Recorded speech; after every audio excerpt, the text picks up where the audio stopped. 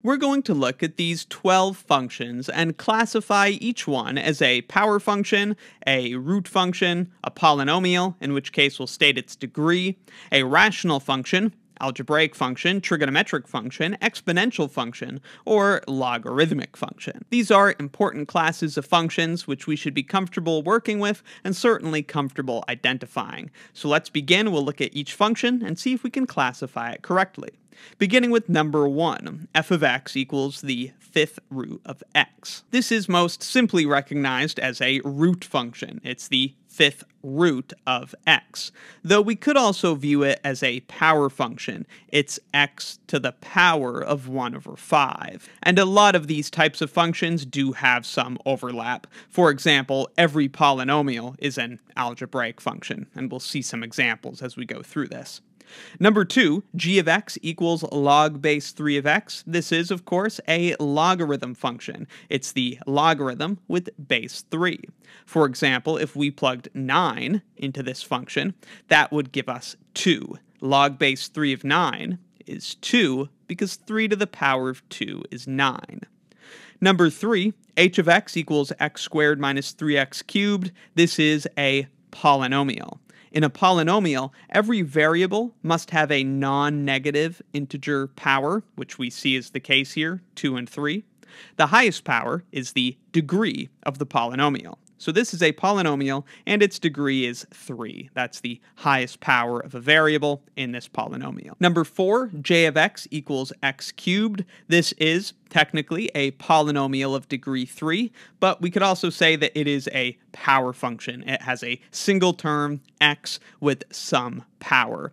Power functions can also have coefficients. There could be a 4 here or 5. In this case, the coefficient is just 1. Regardless, it is a power function. It also happens to be a polynomial and an algebraic function as well. It's worth recalling that not every power function would be a polynomial. If this power was a non-zero number, less than 1, that would not be a polynomial. For example, x to the negative 3, that's a power function, but it's not a polynomial. Number five, f of x equals sine of x plus cosine of x. These are our beloved trigonometric functions. Sine and cosine are trig functions. If you add them together, you're still talking about a trigonometric function. Number six, v of t equals e to the t. e, you should recall, is just a number. It's an irrational number, but a number nonetheless. So in this case, we have a number to a variable power. That is an exponential function. Don't confuse it with the polynomial. In this case, the variable is in the exponent, so it's an exponential function. This one's often called the exponential function, specifically because it's that number e raised to the power of t.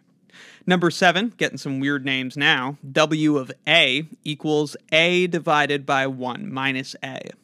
a is a polynomial. 1 minus a is also a polynomial. Since this then is a ratio of polynomials, it's called a rational function. It's also an algebraic function, but more specifically, it is a rational function. Number 8, y equals 4x cubed divided by 1 minus x squared is again a rational function because it's a polynomial divided by a polynomial. Again, it also happens to be an algebraic function, but that is a broader class, so I'm going to use the more specific classification of rational function. Number 9, f of x equals the square root of x to the 4 plus 2 divided by 1 plus x. This is not a ratio of polynomials because the numerator is not a polynomial. We can't have variables stuck in square roots in polynomials. So this is not a rational function because it's not a ratio of polynomials. This is just an algebraic function. It's a function that can be constructed using addition, multiplication, subtraction, division, and square roots. That's an algebraic function. Then number 10, y equals x plus 2x to the 4 times negative x cubed plus 5x.